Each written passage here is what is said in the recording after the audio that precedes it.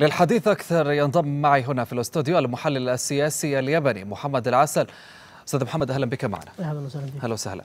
يعني بداية آه، رأيكم وتوقعاتكم بشأن المشاورات هل ستكون سهلة وسريعة؟ آه، في البداية حقيقة آه، نأمل أن تنجح المشاورات هذه المرة. هناك جهود دولية كبيرة وتختلف عن سابقتها من الجولات السابقة. لكن ما نراه نحن وما يعول عليه أبناء الشعب اليمني هو أن الميليشيات الحوثية لا يمكن بأي حال من الأحوال أن تقبل أو أن ترضخ للسلام. يعني اعتاد أبناء اليمن من سابق ابتداء من يعني السلم والشراكة ومؤتمر الحوار الوطني وما قبلها إلى إلى أن وصلنا إلى ما وصلنا إليه إلى إلى أن حدث الانقلاب. وكل الاتفاقيات والاتعاء والتي تبرمها جماعة الحوثي مع شركائها في العمل السياسي هي أصلا لا تؤمن بالعمل السياسي.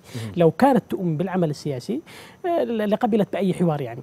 آه، لكن أقول آه، رغم كل هذه الاتفاقات التي تمت من قبل حتى مع المجتمع الدولي ومع الأشقاء لم تفي ولم تلتزم بأي اتفاق.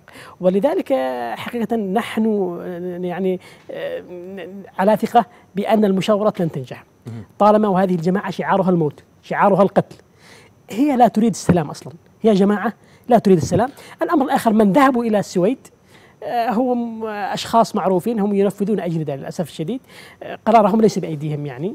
لكن نتمنى ومع هذا نتمنى أن تنجح هذه المشاورات كما ذكرت المرة المرة الأخيرة لأن أبناء الشعب اليمني يتطلعون لأن تنجح هذه المشاورات ويكون هناك فعلا نية أو حسن نيه بادرا من من من جماعة الحوثي الانقلابية آه التي يعني آه ذهبت اليوم إلى إلى السويد بينما ما زالت تحشد إلى الجبهات وترفد الناس بالسلاح في كل مكان.